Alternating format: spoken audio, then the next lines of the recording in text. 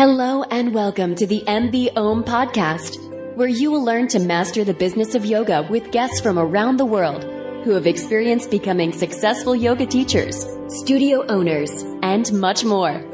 Now, here's your host, Amanda Kingsmith. Hey everyone, and welcome to another episode of the MB Om podcast. As usual, I'm super excited for today's episode. Um, I have a guest whose name is Andrew Misle, and Andrew is a Sattva yoga teacher who's based out of Edmonton, Alberta. And he was actually somebody who was recommended to me by a listener to connect with. So after receiving that email, I reached out to him, and I was really grateful that he wrote back to me and said that he would love to come on the show.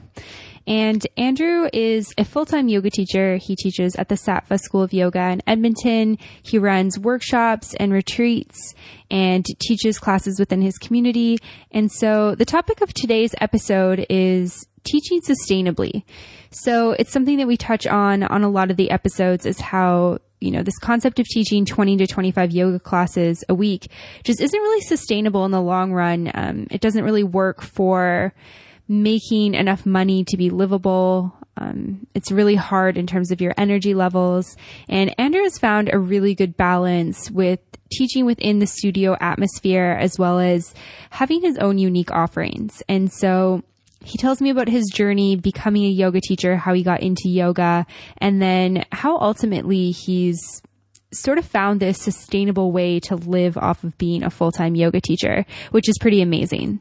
So for anyone who's out there who is new to the teaching atmosphere or has been teaching for a while and is feeling burnt out or feels like they need a change, this episode will definitely be super informative for you. And just as a heads up before you dig into the episode, Andrew and I did have a little bit of audio issue. Um, he was such a trooper through it. I don't know whose internet it was. We were, you know, both in Alberta, only a couple hours apart from each other, but Skype continued to crap out on us. We tried video, we tried just audio, and I eventually just called him on his phone from Skype. So please be patient with the audio. I know that it's never ideal when you're listening to something in your car, your headphones to have audio that's not perfect, but it is the reality of getting guests from all over the world being able to talk on the podcast. And Andrew has tons of value bombs within the show. So hopefully those are better than the audio troubles that we had. Uh, so without further ado, here's Andrew. Awesome. Well, thank you so much for coming, taking the time to come on the podcast. It's super cool to have you here all the way from Edmonton. My pleasure.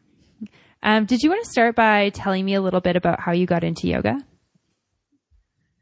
Oh man, that's a really it's kind of a long story because uh, my first practice, I used to teach martial arts. I, I practiced kung fu from like age six to my mid twenties, and then I sort of veered off it and. Uh, before I was teaching yoga, I was really involved in the music and film industry.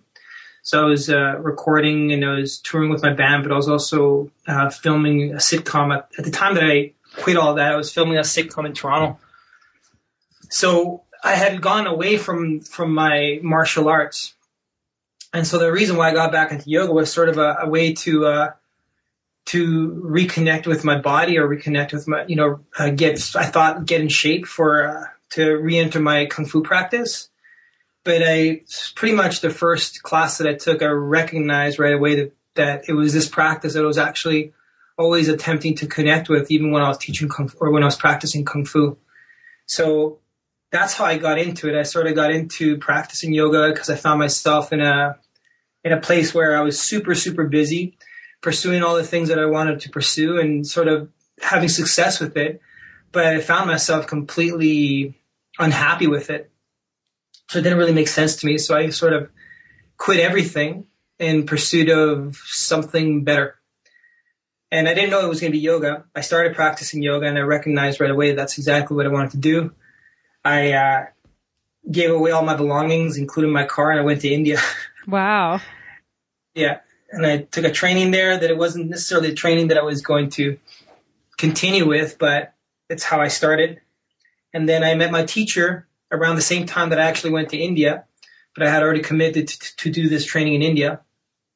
And, um, yeah, so then I met my teacher, Ramin, and I started practicing with him and I've been with him for close to a decade now. Okay, cool. So you, Um, what style did you do your original teacher training in? I did moksha. Okay. And do you still, Yeah. because you teach at a Moksha studio in I don't anymore. No, Okay. I, I is that what does it say that on my website? I think so. Okay, thanks. I have to go back and fix that. I can be more on top of that website.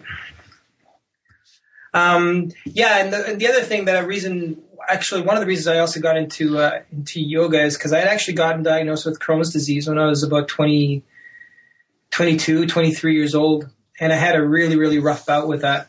Yeah. So I started. So th- that's the reason why I wanted to get back to martial arts because I, I recognized what the qigong training and could do, or prana training could do for the body and for the state of the mind.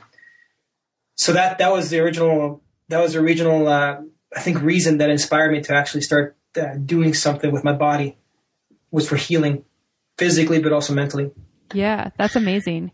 And you were just Yeah. driven to teach because you had such a powerful, like ex- positive experience was- with yoga? Well, it was one of those things where I remember like practicing and recognizing that I actually wanted to do this for the rest of my life, and I wanted to devote all my time to it. But I was I wasn't sure how I was going to do it, and then I it just made sense that I would take a training to try and teach it and just be around it all the time. So that's kind of why I did it. Um, it's not necessarily the reason why how I think people should go about it. I don't think you should start practicing yoga with the intention to teach it or to open up a studio or to make it as a business. That's not necessarily the best motivation to to practice. I don't think it is one though, and it, it kind of worked for me. But I wish that I've sometimes I wish that I would have uh, held off a little bit longer before I started teaching. But but I think that because I had many years of teaching kung fu, there was uh, there was a strong connect right away with it, with how to teach and being in front of people and really conveying uh, this this body mind practice, right? hmm And then later on, much later on, it became really. I mean, I, I I think I was teaching yoga for years before I could ever consider myself really a teacher, and I don't even know if I consider myself a teacher. I have way too much respect for for the yoga practice to call myself a teacher. I just try to share what I what I, what I've come across, you know, Yeah, and definitely. my experience. Yeah, it's kind of interesting to hear that you don't like definitely resonate with the word teacher. Is there something that you prefer? Because I know I've encountered lots of people who prefer like educator or like something around movement or like something that's Yeah, not I- necessarily teacher. I don't know what that is because I don't consider myself an instructor. I don't consider myself an educator. I consider myself a practitioner teaching the practice. Cool. But I don't know any.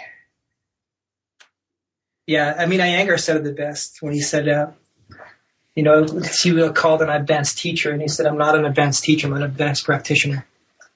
yeah, that's pretty awesome. the- I like that. because I mean somebody else might call me a teacher and yeah, of course I teach yoga and I guess I am a teacher but in your head you always want I think myself I want to consider myself always a practitioner Right. Right. maybe and- maybe 102 I'll change. I think too, it's such an important concept about the idea of teaching yoga is that your practice is such a huge part of that. yeah it's the well you know you can't uh, it has to be in my opinion at the forefront of, of whatever it is that you're doing not just teaching right I mean if you're practicing yoga if you're real devoted to the practice it, it's at the forefront of everything that you do Right. for me it does it's my grounding you know it's uh, it, it it influences my relationships it influences uh, my discipline it influences my work. It really it really also influences in my ability to stay inspired. Because I see that often. I see a lot of people come into the practice start teaching stop practicing and just lose their inspiration. And that's that's not unfortunate nor is it good nor bad. It is what it is. I think everybody learns differently, you know, and if you stick with the practice, the, your path will teach you that you have to practice in order to teach. Yeah, yeah, I would 100% agree with that. And I know that it's, I think it's something that I've heard so much like in my progression as a practitioner and as a teacher and throughout the podcast is like the biggest lesson is that you need to continue your practice. You need to continue learning from other teachers. You need to self practice and feel what things feel like in your own body and that you really can't teach well if you're not practicing what you're preaching. Absolutely. And I think the practice should evolve 100%. You know, for me, it started really physical, but, you know, and it's still obviously a physical practice, but a lot of a lot of schools I find are not actually teaching the seat. You know, they're not really taking the time to sit down, do the pranayama, and do the meditation practices. And I thought about that quite a while. I thought, I thought, why is that? And I think that maybe it's because if you're going to make it mainstream, you got to make it first accessible, the practice, right? Um, if you look at the body, the body sort of, you know about the koshas, of course, right? The mm-hmm. sheaths. Yeah the body has koshas, and, and, the first one that we usually tend to connect with in the practice is the physical, right? But if we can think of ourselves as a body, we can also almost think of our community or our global community as a body as well. So the first layer that you're going to hit with the yoga practice is the physical layer, where you start from a very, very uh, external connection to your practice, and then you go deeper and deeper and deeper. And I feel like as a community, that's happening as well. You know, at first when I started practicing, everybody was really, really strong into the strong vinyasa practices. But now, even if you go to like Wanderlust or you, are looking at studios, people are really taking on the pranayama meditation practices. And I find that to be really, really inspiring because that is truly what's going to start to make the change. Yeah, um, yeah, definitely. That's really cool to see in like Western society. Oh yeah, I mean, even like I think it's like the fifth or fifth year of Wanderlust or whatever. Not, I I went there the first year and and my teacher was teaching a meditation class, and he only got to teach like one meditation class, and it wasn't very. Actually, it was okay, but it wasn't like super busy. And now this year, it's like I got invited. I taught seven meditation cl- uh, talks and meditation classes, and they're all sold out. And that just goes to say, like, people are really, really resp- uh, are grounding into that practice, and that's that's really great. Mm-hmm. Yeah, definitely. That's it's amazing that other people are seeing that there's more than just the physical side of yoga because it's it's so common that people come to yoga because of an injury or because you know somebody else has recommended it. It's a great way to like stretch or relax or get strong or whatever it is, and then they come and they find out that there's so much more to it. I remember, yeah, for sure. I remember years ago, a lady I was asking the class, so so why is it that you want to practice yoga? What what's your intention for actually coming into this practice in the first place? And this lady's like, well, to be honest, I just wanted to get a nice ass. and I'm like, I'm like, well, is it that, or you just want to change your relationship to your ass? and actually change your ass. But I thought it was kind of funny because it's true. It's like we think that we go into this practice for for some reason, but it, it really, really becomes clear that's not why.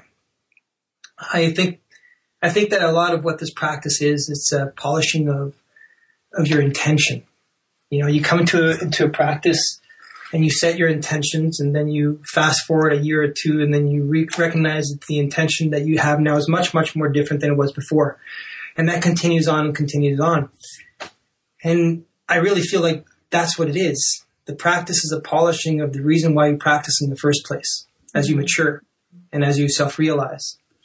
And I think that maybe at some point we're all having the exact same same intention at the very very ending of that polishing process.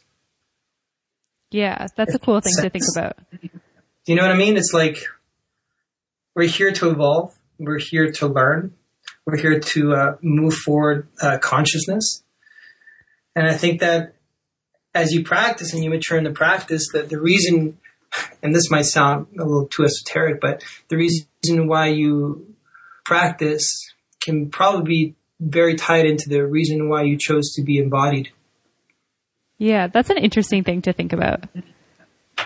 Yeah, I think so. If you if you if you can contemplate on this idea of reincarnation and the the and the soul's evolution. Yeah, it's it's interesting to think about because it's like not a tangible thing to like grab onto because it's like not something that we know as a certainty, but it's such an interesting thing to contemplate as a possibility. Yeah, but I think that what we don't know is much larger than what we do know. Oh yeah, and, definitely. Like you just need to look up to the sky and look at the stars to realize how much you really don't know. Yeah, and if you can actually get comfortable with that idea of not knowing, that's an amazing, amazing gift, especially if you're a teacher of yoga or if you've been practicing for quite some time. You can start getting into this place where you think you know. You know, you think you know, so you stop having that that mind, that that eager and hungry mind of a beginner that is just willing to listen. And if you can like as a mature practitioner keep just embracing this idea that you don't know, I think that's an amazing gift to give yourself. Yeah, I think that that's a, an amazing thing in like your yoga practice and especially in teaching when you can come from a place of I don't know everything or I might learn something from this person or this class or this practice. If you, in even like in if you go into your practice and you go into your meditation and you go into your shavasana, this idea of I don't know it is is this is the same idea fully, fully surrendering to what is, right? Without this, uh, without this clout that we sometimes put of what we want the what is to be or what we expect it to be, but actually just leave it to be an experience. Mm-hmm. I, I often try to come back to this idea of not knowing because it brings me a lot of comfort, to be honest, to, to be okay with not knowing. Yeah. It brings me a lot of comfort. That's that's really cool to hear because I think that most people experience something that's like pretty opposite from that, where when they start thinking about the unknown, they feel very uncomfortable. Yeah, well, that's one of the biggest hurdles that we are dealing with when our practice is fear. You know, it's the greatest separator, um, and I think if your practice is not challenging that, if it's not actually challenging your fears, then need to maybe question that. Yeah, yeah, that's a good point. Do you think that fear is something that the practice really helps us overcome, or do you think it's like we're more like head on with it, or what are your thoughts sort of on that concept? Well, I wonder if it's an overcoming or simply a realizing. You know, like for example, for example, a headstand you fear it and you tense up and you only fear it because you actually don't you've never experienced alignment mm-hmm. the minute you feel mm-hmm. you experience alignment you realize that all of that fear was nothing more than just something in your head of the unknown or of your expectation or you are feeling the fall that you hadn't even had yet so it's all really in your head and it's a story that we create but the moment that you actually stack the body and you get into that center point where it's actually completely uh, easy and frictionless, you come to the realization, oh, that fear doesn't exist. Yeah, yeah, that's cool to think about. Um, a couple years ago, I was at Wanderlust, and I can't remember whose class I was in. Um, it was somebody amazing though. It was, I can't remember who it was, but they were saying how there was somebody who had never practiced yoga who decided to come to this yoga festival and this person was just very like open to learning and curious about the practice and curious about like the physical movements and everyone was going into an advanced arm balance. I can't remember what it was.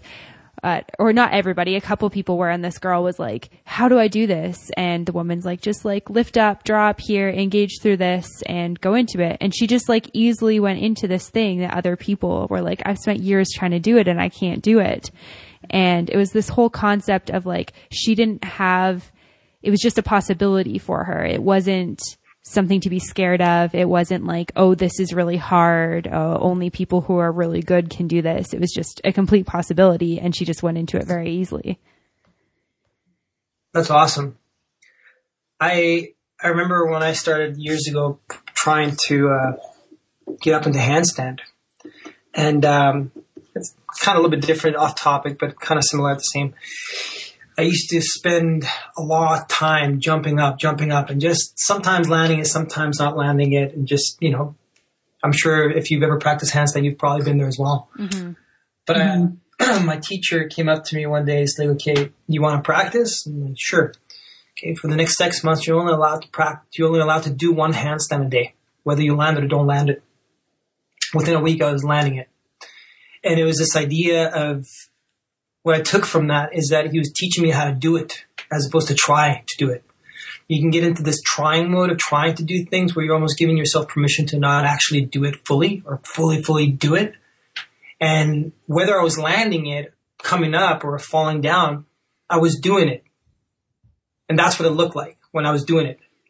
It was just that it changed the, I changed the word from trying to do by doing it once a day. And then, and I've taken, and I've given that practice to a couple people. And so I, I found that, I found it very empowering to, to, to get that lesson of doing it because you can apply it to so many other things.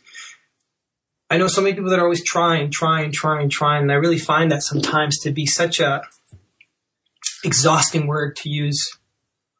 It's much easier to just to do it and fail than to try and fail. Yeah, definitely. I agree with that. I love that idea of practicing handstand that way or a, a different pose that's really challenging. Makes me think of, I saw Gabor Mate speak a couple years ago. Have you heard of him before? Of course, yeah. Yeah, and he did an example. He was speaking in Calgary. He did an example where he got a woman and he was like, could you try and stand up? And so she's like, okay. So she stands up and she's like, and he's like, you didn't try, you did it. And he's like, now try and sit down. And she was like, so confused by this. And then she sits down and he's like, you didn't try, you did it. There is no, like, it's exactly what Yoda says in Star Wars. It's like, there is no try, there's do or do not. Exactly. Exactly. It's funny when you start to change the way that you just use your words with yourself.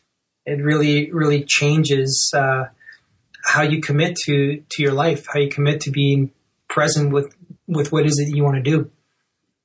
Yeah, yeah, definitely. I think that that's so important too from like this idea of becoming a teacher and becoming like the best version of yourself as a teacher and where you want to go with your career is really like setting these possibilities for yourself instead of like, I can't do this. I'm never going to do this. Cause then it's not going to happen if you can't believe in yourself.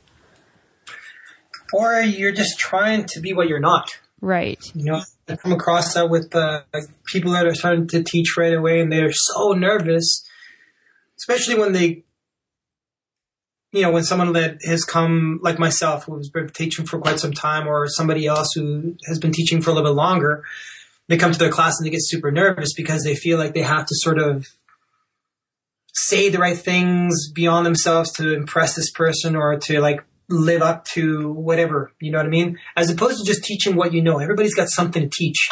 Everybody's got a really, really unique perspective. And I think if you can just, whether you've been practicing for a week, or sorry, teaching for a week, or te- teaching for you for years, if you can just stick to that, you'll always have something to offer.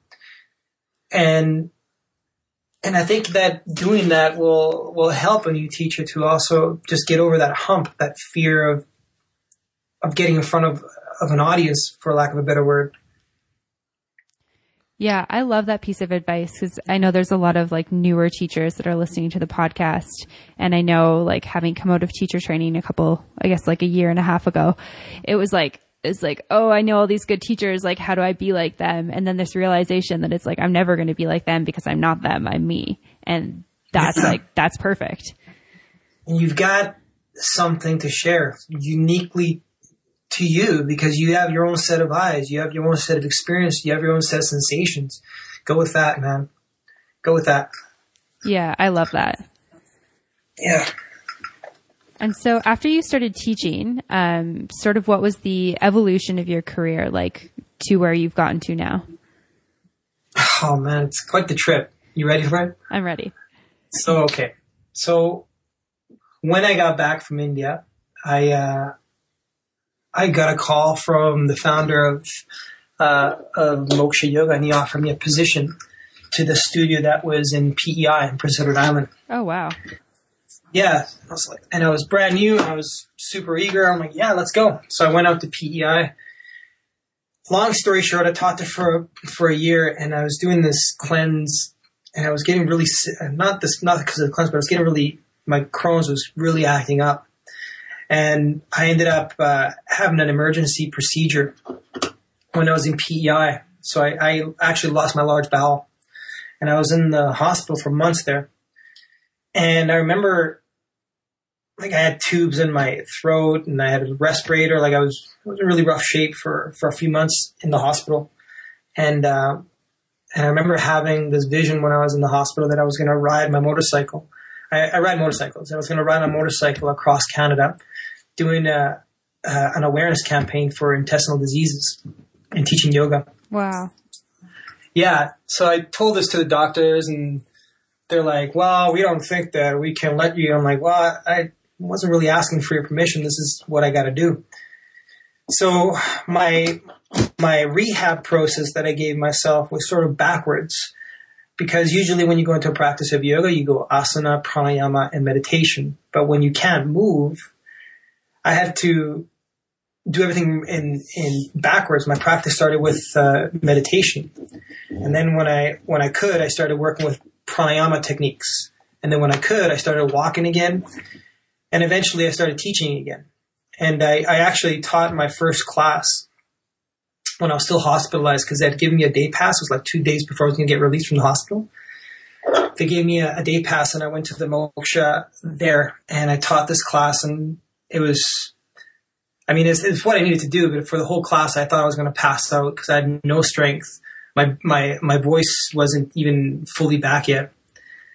So then I, I, uh, flew to Edmonton and I gave myself about two months to, to rehab myself. And this is like, like I had surgery. Like I couldn't even, I wasn't even allowed to like pick up a bag because I don't know, like, you know, women that have a C-section, if they pick like they're not allowed to pick up anything heavy for a long time because right. of the stitches. Yeah. So it's kind of the same thing. So for two months, I started working slowly with my practice, and then I did it. I I, I shipped my motorcycle at the PI, I flew down, and I rode across Canada for four months teaching yoga. I taught like 80 classes, did events. It was one of the most amazing experiences that I, that I that I've done, and um, in that I got to really really practice this idea of presence, of allowing yourself to actually listen to life, to actually uh, have trust that the journey itself is going to provide for you. And that kept getting proven to me in so many ways, like so, so many ways. I, I could go on and go on and go on where I would need something and it would just happen. And it became like a practice to do that and to actually just trust, trust that, that the practice, trust that your journey was going to provide for you. And, and it did. So I did that. And then that sort of started uh, my passion for, for traveling and teaching yoga. Cool. I came back to Edmonton and I started uh, practicing with Ramin at the Sattva School of Yoga. And then from then on, I just started uh, creating things. Like it's not easy when you come out as a new teacher, especially nowadays. It's really this is the one piece of advice if you're listening and and and you want advice on on uh, starting to teach, create, create something. That's what I've always done. I've had to create in order to get myself opportunities, and then suddenly somebody calls you for a podcast asking you about your business, which is mind blowing to me that you're calling me about business. but but I can see it. You know, I, I've, I've learned a lot through it because I've had to create my own opportunities. When I came back to um, to Edmonton, I started I started teaching at the at the Sattva School of Yoga, and I was still kind of working part time because I had to. I wasn't making a living just teaching yoga, but then eventually I was able to. Um, and then I started to create uh, opportunities for myself. One of the, the the ones that I created for myself that that I still actually had is alive and, and thriving today is called the Sunday Sessions. And my idea was to create a, at this time in Edmonton, there was nobody offering outdoor classes or for free. And my idea was to have an outdoor class, but not just have an outdoor class. My idea was to have like the class of the week that everybody wanted to go to with like music and, and fun and have it for free for the cool. community. That's and also to have to access, accessible to people who couldn't afford to do yoga. And so I started doing this at, at the park, at Hawrelak Park. Um, you know, at first there was like maximum 10, 10, 20 people. And then, um, the reason, actually, the reason why I started that is because I was going to offer this uh, six. At that year, I did it at 5 a.m. I did a 5 a.m. Uh, class at the park, at Hawrelak Park for solstice, and that's something that I've done every year too. The first year we had about 150 people show up. And uh, this past year, we had over 1,500 people show up. So it just grew. Wow, that's and crazy. The, the Sunday session class, it started with 10 people, 20 people. Now, when we did it outdoor this year, on average, it was 150 to 200 people that would come. But we also do it at the set. So in the wintertime, we do it at the Sattva School of Yoga, and, and it's so much fun what we what we've created. We have a DJ, um, my buddy Luca, and then we have guest DJs come in, uh, guest musicians come in, and people are just super excited to come to this class because it almost feels like. Um, for me, it feels like what church should, should feel like. Just a, an awesome, fun celebration of community and spirituality. Yeah. Yeah. So that was one of the things that I did that I feel like really empowered me to, to create and to offer what I needed to offer offer what I, what I felt people needed as well or wanted. And then from then on, I kind of kept doing that. I kept doing events and kept throwing them and having success with them because it always came from a place of actually not expecting anybody to show up. Um, and that kind of got ruined to me by Lululemon because the first two years of the solstice, I didn't have any expectation and suddenly 150, then the next year was like 400 people showed up. And then one of the managers of Lululemon asked me, so what's your goal this year? How many people do you want to have out? And I told her, I want to have these, this amount of people. And then and then I just remember the amount of stress that I put on myself because I expected now to have that many amount of people. So I guess the the advice would be is like just create something and have no expectation. Just pour yourself in and do the best job you can. Have no expectation and just watch. Right. Cool. I love the idea of like having and setting tangible goals, but I also like the idea of like creating something and just being like, okay, I'm putting it out there and I'm going to do it if there's one person or 10 people or 100 people and it's going to be great. Yeah, I, I, I work a little bit differently. I don't necessarily create tan. I, what I do is that I try to, my goals look more like what do I want to, what do I want the thing to feel like? Right. That's kind of what my goal. What do I want this thing to feel like? And that's how I set my intention. So like, for example, my intention for the Sunday sessions when I moved it indoor was I wanted to feel like the whole room was vibrating and hot and people were just like giving it all. And it translates into a, a packed room with that happening. Yeah. No, that's cool. I, I, like, I no, it, no, it does. I like the idea of setting an intention and just being like, like, this is my intention for this as opposed mm-hmm. to setting this like expectation for how many people are going to show up. And I think it's also interesting when you take like money out of the mix too, and you're creating something. That's exactly it. Yeah. That was that was the other piece about the Sunday sessions being free. It's not just because it's free. It's exactly that. The taking out the money, both taking it and paying it. Not even like for the patient pay, uh, paying, but also for the person taking the money. It takes that out of the equation as well. So all you're there for is the practice and community. And it makes the, the, the whole experience so much fun. So, so much fun and, and healing too. Incredibly healing. I've had so many people just like write me emails, just thanking me for that opportunity to do that class because of what it's done for them, what it's done for them and their family. Because a lot of people want to come to yoga, but they can't afford to bring the whole family. Mm-hmm. So I have people that come in with their kids and they come in with the, with, yeah, with their kids and their spouses and they're all practicing together those kinds of things I never even thought about when I did it before. But you know, um, in retrospect, I, I, think I think it's a blessing. It's a blessing that I that I had the opportunity to create that. Yeah, definitely. And I'd love if you could talk about sort of finding the balance between um, teaching more of like a karma style, like a free class, versus making sure that you're making enough money to actually have like a sustainable career. Yeah. Well, I've noticed this year, like I had the thought of almost stopping the Sunday sessions this year, but I but I didn't because there was free yoga now every night at the park and different people doing. It. I'm like, okay, I did it because it wasn't being offered, but now I feel like it's being offered too much. not that I'm saying oh it belongs to me, but I'm saying is that people are just going to go to the free classes, and then what happens to the studios? You know, not just my studio, not my studio, but all studios. Like it is unfortunately how we make our living, and and I think people yeah, I think there's a there's a balance between karma and then sustainability. I do I do the karma work because I, I it's it's part of my practice, not just the not not just the Sunday sessions, but other stuff as well as part of my service. Um, but I have no qualms as well as on doing my workshops and doing my retreats and charging good money for that because I do feel like the amount of hours that we put in, the amount of work that I do, and what people get out of it is worth the money. You know what I mean? Yeah, yeah, definitely. I think that you like phrase that really well that there's like finding that it's okay to offer something that's for free for people who can't necessarily to bring their bring their entire family, but it's not like you're offering it free all the time.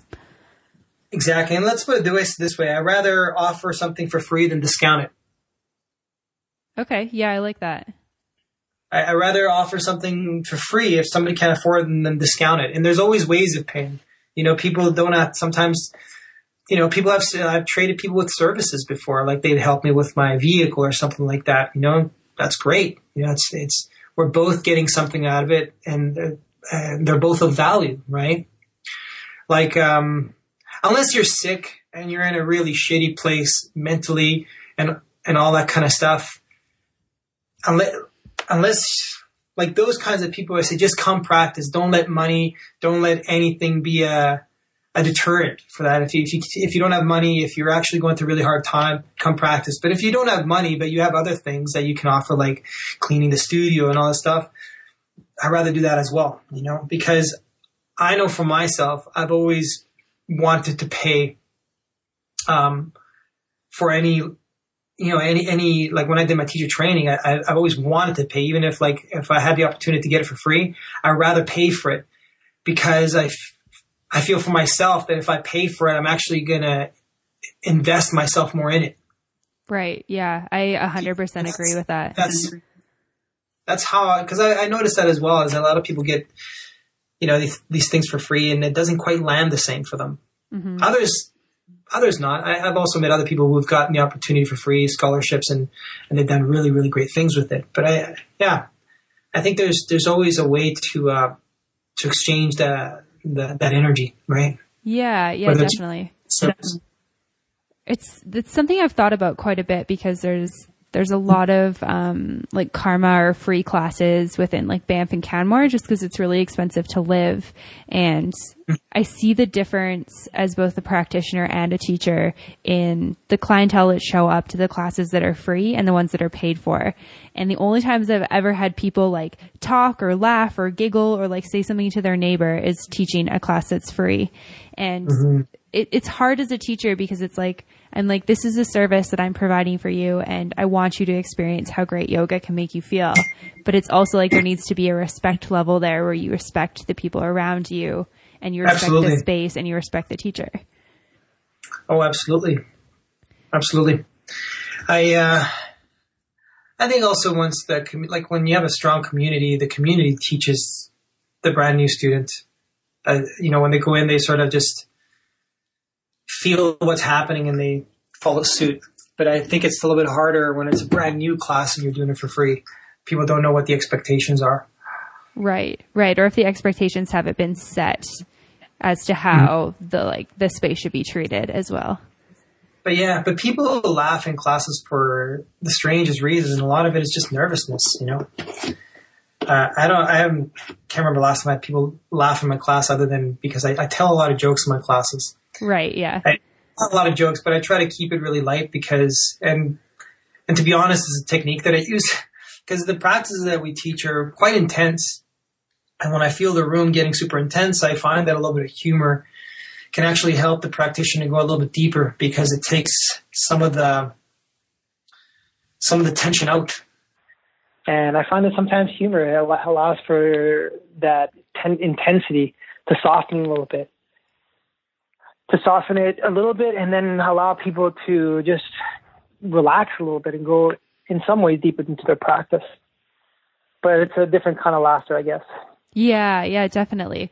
I think it's such a good tactic to get people sort of like out of their heads and more into their bodies. Absolutely. And uh, I find sometimes in humor you can actually express certain truths that convey really well too. Um, because I think it's only funny if it's true. Right. Yeah. No, that's a great point. yeah. And so I'm curious, what are some of the biggest business lessons that you've learned over your career? Um, well, you're an entrepreneur and you're self-employed, and uh, you have to be driven if you want to if you want to do other than teaching uh, classes. Because what I do know is that it's not sustainable to teach public classes and trying to make a decent living. I, that's been my experience, anyways. Yeah. Um, not that you have to make a lot of money, but in my case, you know, I want to have a fiance, I want to get married, I want to have a family. You you have to make more money than a bachelor. So I find that uh, it's very difficult for for teachers to make uh, a good living um, teaching public classes. So you have to just stay on it and and be creative and find ways in which you can offer uh, classes that will pay you more, whether it's in your community or whether it's private, whether it's workshops or whether it's um, you know retreats or whether it's you teaching yoga and having a job, you know, which is also great for some people to actually have a, a job that pays them so they can just be free to to practice and teach what they want to teach. Yeah. Um, the other thing is that you do your own taxes. That's a really important one that a lot of uh, new teachers for them get hit with on a continual basis because they don't plan for that. And I think sometimes even the practice itself attracts people that don't actually are not super uh, on top of that. Yeah. Um, so I think uh, if you're starting to teach and you're starting to become more successful at it, and you start to make more money, to just be really mindful with that, finding a good accountant to help you with that. Um, what else? What else? You know, at the end of the day, it is a business, but it's a very, very unique business because it's also a spiritual practice.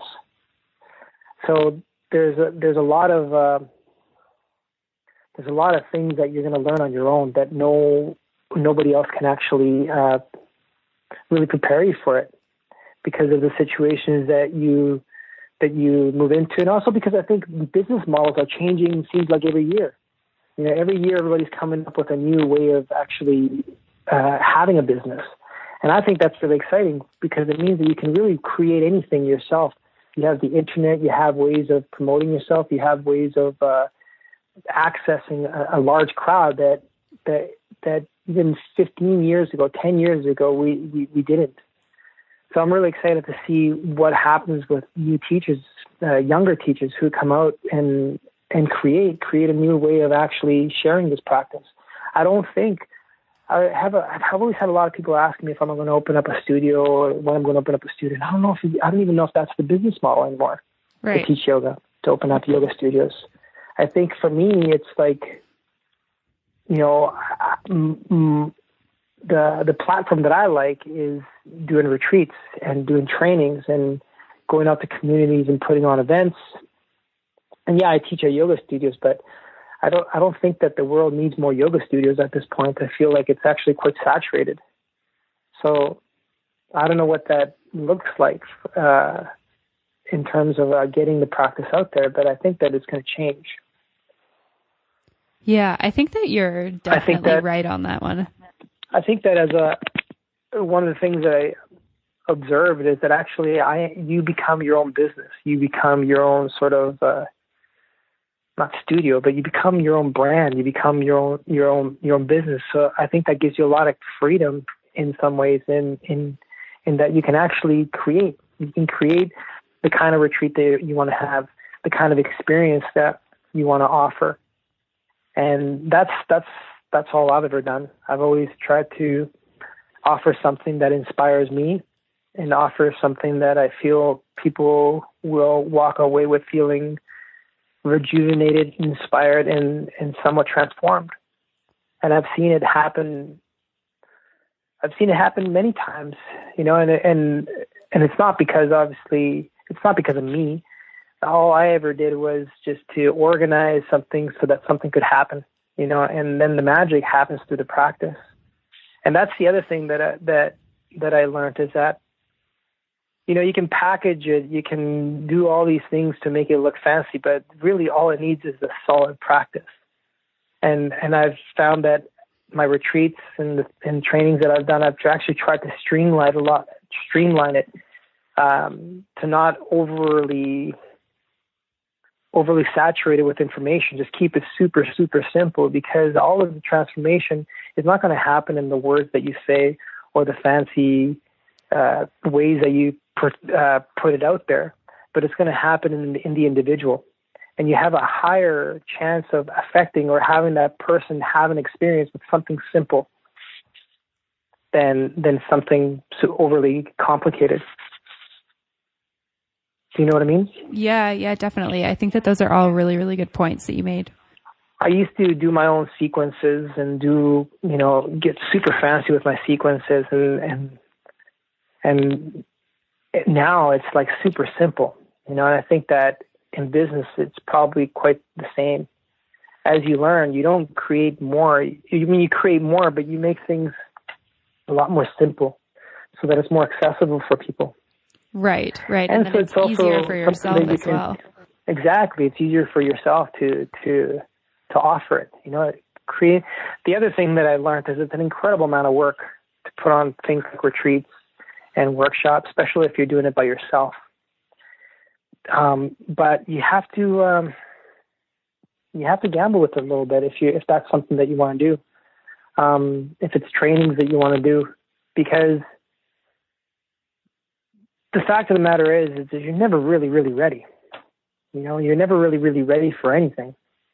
All you all you can do is just meet the moment with the with uh with the best that you have, and I and and trust that being present and being um, in tune with your positive emotions is going to show you the how. And that's kind of all I've ever, all I've done. is just like kind of overreach, you know, go beyond my comfort zone and then just meet it and meet it. And then from there, just respond with it, respond with the moment, respond with the experience. And if you can do that honestly and then fearlessly, there's a high chance that you're going to have a really, really successful uh, experience. Yeah, that's amazing. Thanks for sharing that. I just have one last question for you, and it comes from looking at your website sure. and being like, this website is really, really well done. How important do you think mm-hmm. having a website or somewhere like a base where people can find you is for a career? I wonder about that myself. Like myself right now, I'm actually going to be in, I'm in the process of creating a different website because I want to have something more interactive. Um, with more, yeah, more interactive stuff.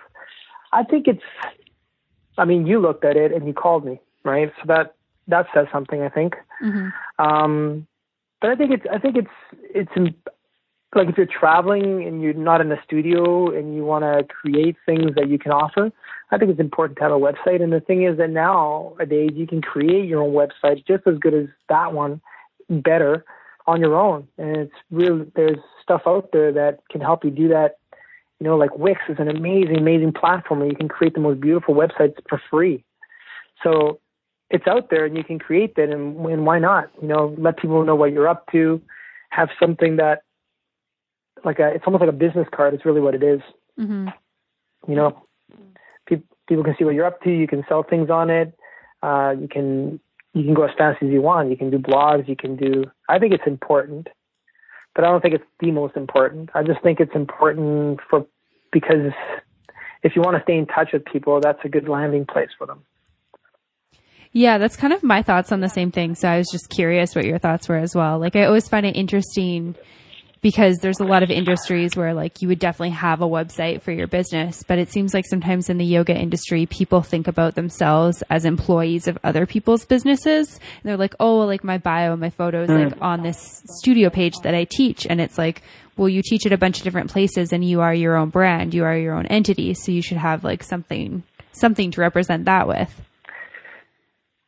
Yeah, I think at some point, if you keep working at it and if you keep offering the things that you want to offer, you that's going to mature out of you. that attitude of like you're going to see yourself as not somebody that people are hiring, although they are, but see yourself as somebody who has something to offer. Right. You know what I mean? It's Yeah. a little bit of a different attitude of of saying, "Oh, I hope they hire me," or saying, "You know, I feel really confident what I have now to offer, and I want to offer it at your studio," which yeah. is different than saying, "Please, please hire me." yeah, definitely. that's just, uh, totally different. and you, and you can't really rush that. You know, you can't. You don't want to be also be cocky and and just shoot yourself and in the because that's never should be the attitude of like, oh, I'm so great, you should hire me. Because no, you just have to be humble, but also confident in the what in the things that you know and and and and the realizations that you've had. And also, don't just teach at a studio to teach at a studio. It has like that's the other thing that I learned over time is that you have to really want to be there. You know, you have to line up with it too. I've taught at studios and I've ta- stopped teaching at studios just be not because they're not great studios. It's just it, it didn't line up with how I teach or you know my philosophy about what a studio should be. So, but I think that's that's something that you define for yourself in your own way as you keep going, just like anything else in life, right? Yeah, definitely. I think that if you've taken the step to teach yoga, it's because you don't. It's because you've chosen to not maybe go the nine to five job. So you should really, really take on that that that uh, lifestyle for yourself. You know, take on, explore as deep as you can that lifestyle for yourself. Amazing. Don't- I, I don't- love that. hmm Yeah, it, it's a it's a really really great opportunity if you can if you can make a living teaching this, um, or you know for the matter, it's a really great opportunity if you can make a living doing anything that you love.